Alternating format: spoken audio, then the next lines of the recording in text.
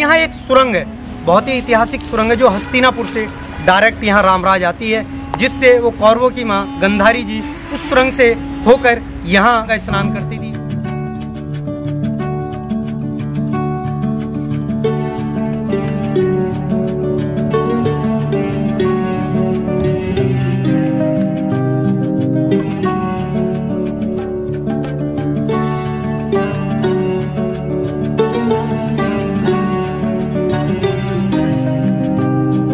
Hello दोस्तों, कैसे आप सब लोग? मैं आशा करता हूँ कि आप अच्छे होंगे, बेहतर होंगे। मैं आपका फैजल भी एक न्यू ब्लॉग के साथ।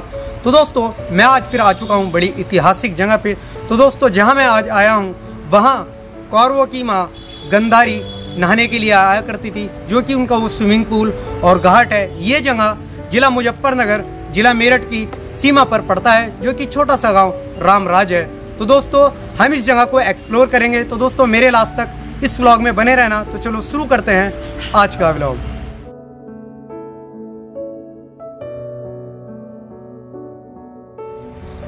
तो दोस्तों, ये जो घाट है, जहाँ कौरवों की माँ गंधारी नहाने के लिए आया करती थी तो उस घाट में जो पानी जाया करता था, वो यहाँ से जाया करता था। आप देख सकते हैं। तो यहाँ के स्थानीय लोग बताते हैं, यहाँ से जो बिल्डिंग है, या इससे पहले कोई एक नदी हुआ करती थी जो इस वक्त में नहीं है।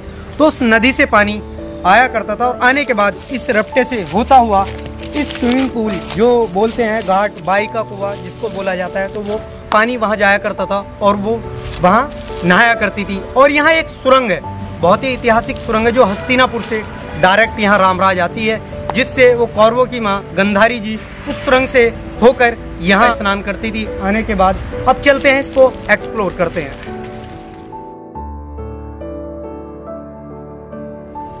और दोस्तों आप देख सकते हैं इसके दोनों साइड में लेफ़्ट और साइड में आप जो दीवार देख रहे हैं वो लखोरी ईटों से बनी हुई है। और इस साइड भी आप देख सकते हैं देख भी रहे होंगे जितनी भी ऐतिहासिक जो जगह बनी हुई है चिनी हुई दीवारें वो लखोरी ईटों से है जो कि चार से पाँच आठ साल तक पुरा, पुरानी जो ईटें हैं ये हैं। और आप ये जो पेड़ देख रहे हैं ये पेड़ देख लीजिए जो जड़े हैं वो दीवार से है और कटी हुई फिर भी पेड़ हरा भरा है। ये पीपल का पेड़ है शायद। और आप देख सकते हैं इसका डिज़ाइन। और एक चीज़ मैं और दिखा दूँ। इस रफ्ते के अंदर उस वक्त का डिज़ाइन देख सकते हैं। ईटों से कितना बेहतरीन ये डिज़ाइन बनाया हुआ है। ये पूरा लखोरी ईटों से बना हुआ है। अब चलते हैं नीचे और दिखाते हैं वो सुरंग और दिखाते हैं पूरा घाट। तो दोस्तों, आप ये जो रफ्ता देख रहे थे, इसके दोनों साइड में आप देख सकते हैं इसका मेन द्वार था।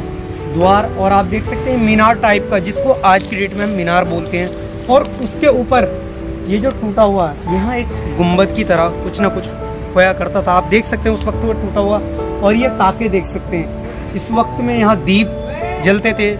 रात शाम के समय, रात के समय में दीप ये देख सकते हैं। और ये टूट चुका है। ये भी पूरा लखोरी ईटों से चिना हुआ है। और आप देख सकते हैं सुर्खी सीमेंट नहीं है, सुर्खी है, आप देख सकते हैं इसमें। और वो उस साइड भी है। आप देख रहे होंगे। तो ये पूरी वो जगह है जो घाट है, जहाँ औरों की माँ गंधारी नहाने के लिए आया करती थी। उस वक्त में यहाँ पानी हुआ करता था। आप देख भी रहे होंगे कितना बड़ा है ये। और चारों तरफ़ इसके पहाड़ियाँ हैं। कुछ साइड की पहाड़ियाँ टूट चुकी है। आप देख रहे होंगे इस साइड। ये पहाड़ी इस टाइम खत्म हो चुकी है। और एक सामने वो है द्वार जहाँ वहाँ पहाड़ियाँ है। वहाँ से पानी नहीं आया करता था। पानी साइड से आया करता था वहाँ बैठने के लिए। और वो है सुरंग। वो भी हम आपको दिखाएँगे। ये लगभग महाभारत कालीन के समय की ये, समय का ये घाट है। आज से लगभग चार हज़ार से पाँच हज़ार साल तक का पुराना ये घाट है।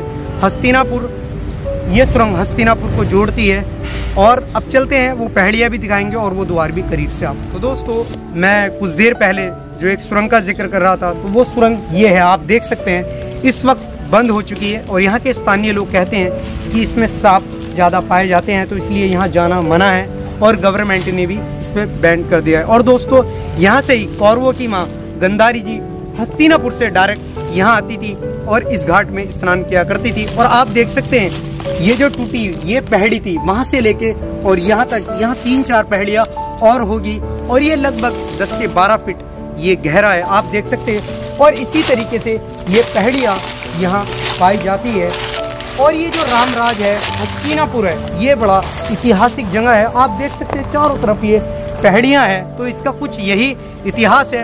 अब ऊपर चलेंगे और इसको व्यू दिखाएँगे आपको। ऊपर से कैसा दिखता है ये, बाहर से। तो दोस्तों, आइए हमारे साथ। तो दोस्तों, मैं उस घाट से अब ऊपर आ चुका हूँ। आप देख सकते हैं, ये जो थम देख रहे हैं, ये चारों तरफ़ है। ये भी इसी जगह का थम है। और ये टूटा हुआ है। इसके ऊपर एक गुंबद जैसा डिज़ाइन होगा। आप देख सकते हैं दूसरा वो है, तीसरा उस कोने पे है। और चौथा वो देख रहे होंगे लास्ट में। अब इसका आपको ओवरव्यू दिख रहा होगा, ये कितनी गहरी है। जब हम नीचे थे, जब आपको पता नहीं लग रहा था, और वो की माँ थी गंधारी, उनका एक स्नान घाट था। मगर अब आपको दिख रहा होगा, ये कितना गहरा है।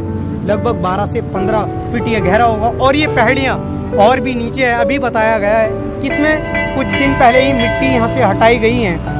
और पहले यह पूरा कूड़ा कचरा करके इसको भर दिया गया था, ये और भी गहरा हो सकता है। और आप देख सकते हैं, एक द्वार ये है, जो पहाड़ियाँ हैं, जो यहाँ से नीचे जाते थे, और इसके चारों तरफ़ ये पहाड़ियाँ हैं। इसका यही कुछ इतिहास है और यही ओवरव्यू है। हमने आपको ये पूरा अच्छे से एक्सप्लोर कराया है, और यही ब्लॉग को हम समाप्त करते हैं। इस वीडियो में हमने पूरा घाट आपको दिखाया जो कि कौरवों की माँ गंधारी जी यहाँ नहाने के लिए आया करती थी और हमने वहाँ से वो ब्लॉग स्टार्ट किया था।